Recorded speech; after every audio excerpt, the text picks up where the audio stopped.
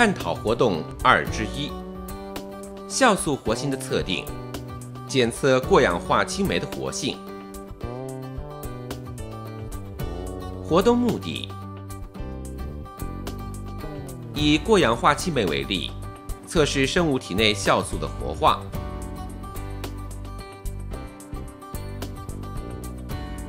活动器材。本探讨活动所需的器材包括试管两只、火柴一盒、生马铃薯一片、熟马铃薯一片、两百五十毫升锥形瓶一个、刀片一片、百分之三双氧水溶液两百五十毫升、新鲜猪肝五克、细沙少许、盐波及杵一组。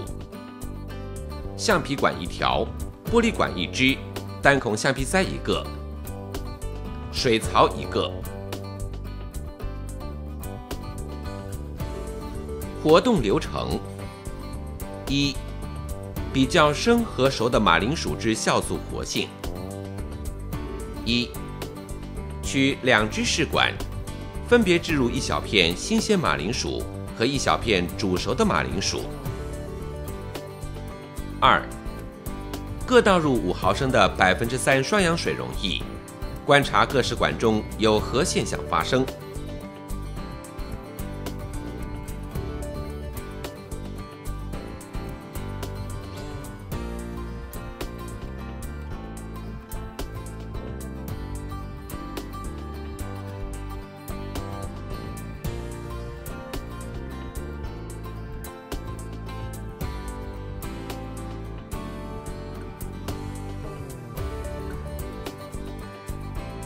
二、比较猪肝与马铃薯之酵素活性。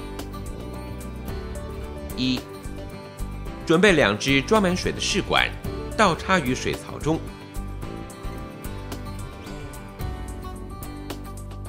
二、在两百五十毫升的锥形瓶中倒入一百毫升的百分之三双氧水溶液。三、将五克的猪肝切成碎片。置于盐钵内，再加入少许细沙，将猪肝碎片磨成泥状，倒入锥形瓶中，并塞上接有橡皮管的塞子。四，将所有产生的气体由橡皮管导入倒置的试管收集。待试管内的水被排出后，取出试管，以火柴余烬深入试管中，观察有何现象发生，可证明有什么气体存在。五，用五克的新鲜马铃薯碎片取代猪肝，重复上述步骤。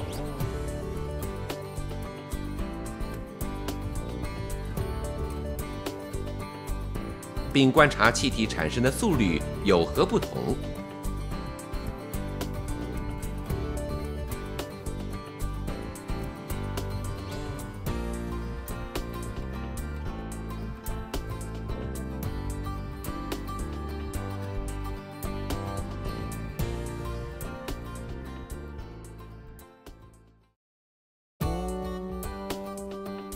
问题与讨论。问题一：是写出过氧化氢酶催化双氧水分解的方程式。答：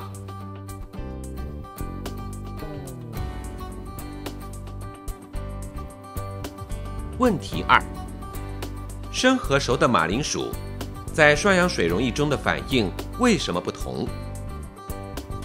答：生的马铃薯细胞中。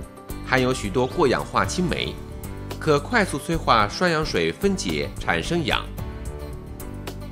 问题三：以火柴余烬深入收集气体试管中，有何现象发生？试管中是什么气体？答：火柴余烬会复燃，表示收集的气体为氧，因为氧具有助燃性。问题四：马铃薯、猪肝分别与双氧水溶液反应，气体产生速率有什么不同？这和马铃薯、猪肝的组织特性有何相关？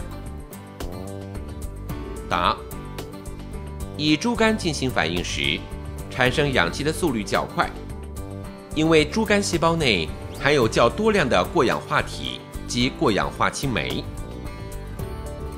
五、生物体能够快速分解双氧水，和哪个胞器的关系最密切？